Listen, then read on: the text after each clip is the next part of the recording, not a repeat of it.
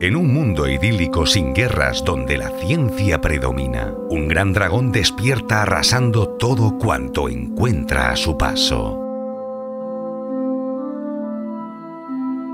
JM Foncubierta nos trae una apasionante novela cuyo eje central son las cartas que el teniente Pérez Fernández envía a su hermana.